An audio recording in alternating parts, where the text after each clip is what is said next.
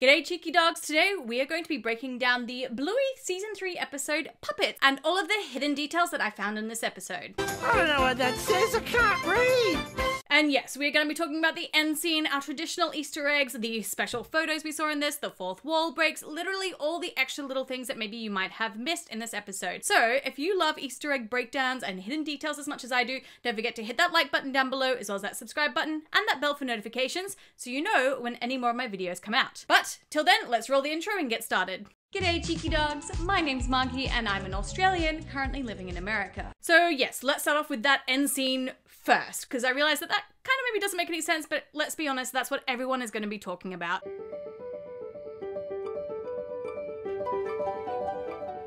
So, everything we know about this end scene is that it, yes, took one and a half hours to actually do that really tiny little bit of animation. And the hand that you see doing that is actually Joe Brumm, the creator of Bluey's hand. So, he used to be an animator before he became a writer and the creator of Bluey. So, it was really cool to see that, like, he got to have his own little cameo within his own show. Now, we also found out from some of the interviews he did, specifically the one with the Gotta Be Done podcast, that he had to fight to have this scene put in at the end. Yeah, it, it took a lot of fighting basically to get that sequence over the line. Um, probably the biggest fight of season three, if not the whole series, I would say. And it was, of course, very much influenced by things that had been done in the past with Chuck Jones and Bugs Bunny and like the sort of fourth wall breaks there with the animation, as well as the Astro Boy end scene, which really kind of influenced Joe Brumm into doing this. There's plenty of old episodes of um, Bugs Bunny and, and Disney and stuff where the animator's hand used to come in. Or for me personally, the end of Astro Boy, where they used to slowly show a run cycle forming. And it was just that little insight into this job that we all do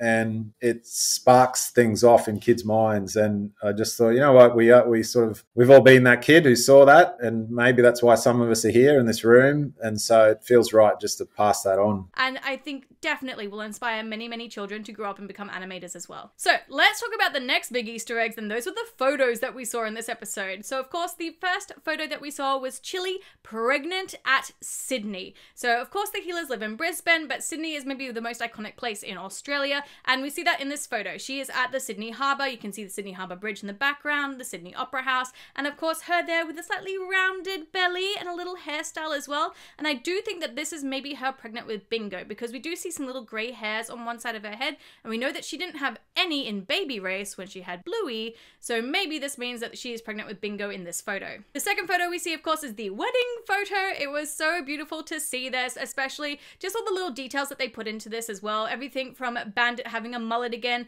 the bone cufflinks, as well as his sort of like five o'clock shadow slash beard with the white fur on his nozzle. And then even with Chilli, she has her own little hairstyle as well, and their outfits are beautiful. And a lot of people think that this kind of replicates like the very famous Neighbours wedding. Neighbours is an incredibly famous like sitcom soap drama TV show in Australia that's been running for years and years and years. But the most famous wedding from it was Jason Donovan and Kylie Minogue. And if you look side by side, these photos look so similar. So I wouldn't be surprised if there's a little bit of inspiration drawn from that. Now, of course, we do have our traditional Easter eggs as well. We do see a long dog on the kitchen bench holding its own little puppet as well. And of course, we see Chattermax hidden inside of the like glass cabinet behind Bandit in that first scene too. Puppets is also one of the episodes that did get changed on Disney Plus. So here is the Australian version. It's sweet chili sauce. Care for a lick?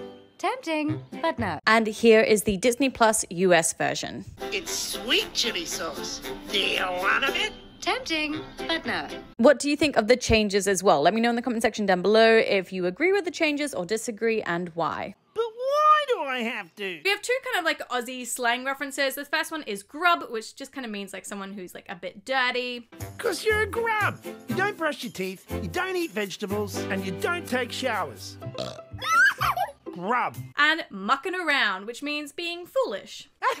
He's just mucking around. We also, of course, have maybe one of my favorite like Easter eggs of all time, and that's a reference to the original one minute Bluey, never seen ever pilot, which of course everyone did end up seeing this year because it got leaked. So the reference, of course, is Salad Dodgers. How's it going, Salad Dodgers? And that's in reference to the pilot where we see Bandit playing a game called Salad Dodgers, which is meant to be like Fruit Ninjas. We do have two really funny like Bandit moments as well. The first one being Bauxite. Okay, we'll say bauxite. You ready?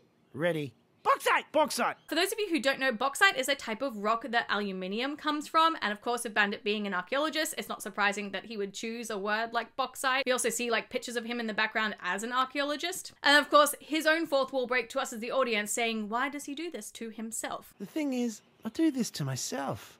Another really cool hidden detail was the anime falling in love filter, like the pink one with the like the little love hearts. I love that they did that over Chilli. We also find that Bingo loves broccoli, and they also referenced blue bears, and I have no idea what this means. Morning, Blue Bears! I've literally not at all. I've scoured the internet and no one else seems to know. So if you have any idea, please let me know in the comment section down below. But of course, I did really love like the montage and the fact that they did a montage in Bluey as well of Unicorse going from being a grub to actually, you know, being ready with a little bow tie to try and woo Chilli. And we should talk more about Unicorse, of course, because he is one of the main parts of this episode. Unicorn! Now he reads the title card, I don't know what that says. I can't read. Or I mean, technically doesn't read the title card, and this is the second time actually that this has happened. The first one is in Bus, This episode of Bluey is called I forget. and now this time with Unicorse. We also see Unicorse voiced by everyone in the family for the very first time, and we found out that Unicorse is an actual game or puppet that Joe Brumm has played with his own kids. when I used to play Unicorse with the kids, they would, you know, I just remember lots of times where they would try to convince Unicorse that he was a puppet. Look, mate, you are a puppet, and I do control you. I'm sorry. I do think also like the whole idea of like my life is a lie. It's very like Truman Show. Like it reminded me a lot of like you know not everything is real, everything is a lie, as well as like that Buzz Lightyear kind of like existential crisis that he was having to. My life is a lie. So I love that they sort of really put in that idea of like, are we all puppet? Again, kind of like a Matrix idea of like, is this real? Is it not real? How can you be sure you're not a puppet? I know it's really in depth for a kids show, and I absolutely love it. Now, of course, there are multiple lessons here throughout the episode. Everything from you should be happy with who you are I'm happy with who I am. Why should I change?